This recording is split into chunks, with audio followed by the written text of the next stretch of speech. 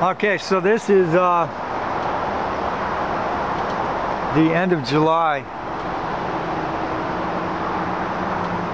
And I haven't heard the HAARP frequencies for quite a while. Um, they just started up last night again and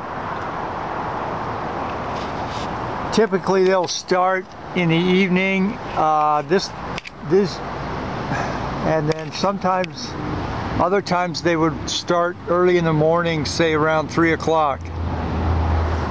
Um, these are the these are the times that the smart meters recalibrate and rebroadcast. I don't know if it has anything to do with the, the smart meters or not. Um, we have the Gwen towers, the cell phone towers that can broadcast radio frequencies uh, pretty much anytime they want. Uh, and so that may be what's happening. Uh, we also we also know that the Navy is testing uh, weapons off the uh, Pacific coast here as well. They may be testing sonar, radar, who knows. Uh, so uh, at this point, um, I just wanted to talk about the fires. Now, basically, I've seen the sprays uh, modify the weather for the last four years, and the sprays are actually the patents the, on the weather modification uh, programs indicate the use of sulfur and barium uh, and aluminum alumina. These are fire propellants.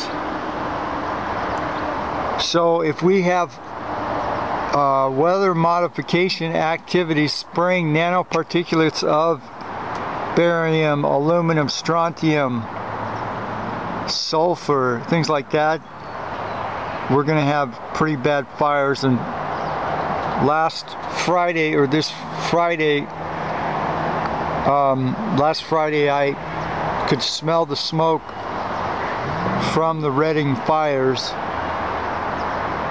and we could see uh, well it's been overcast pretty much for the last few days and so it's all overcast there's no there's no clearing at all and there's a monarch so that's my geoengineering report today. For today, again, briefly, I can smell the Redding fires. Uh, the Redding fires, they actually may be, uh, they have may have designed the fires to clear um, areas for uh, sort of planned unit development, development FEMA uh, sort of planned unit housing.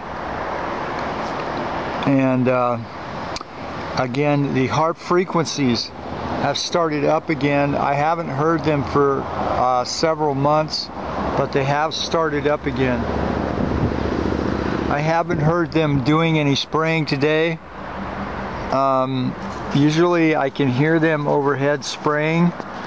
Um, when they started broadcasting the frequencies last night as well as you can tell, I live near the highway and I can normally hear the traffic on the highway. When they started broadcasting the frequencies, the, the traffic on the highway was pretty much down to none. And that was about 3 o'clock in the morning. We had no traffic. Usually there's some traffic, but uh, anyway, it was unusually quiet last night when they started broadcasting the uh, HAARP frequencies. The HAARP frequencies, uh, whatever they are, um, uh, electromagnetic radio waves to manipulate the sprayed materials and or the jet stream. Um, uh, that's what I'm talking about as far as the HAARP frequencies go. Now they don't have to particularly be in Gakona, Alaska. They can be up from a satellite and be, be beamed down. So they can be beamed down from the satellites and supposedly pinpointed to minute areas.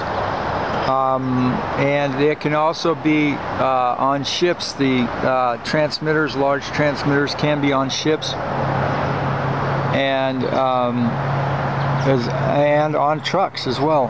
So the HAARP frequency broadcasters can be mobile. They can, I would imagine, they can run possibly run through the utility lines, through the smart meters, through the cell phone Gwen towers, and so we we are basically uh, being inundated by these frequencies.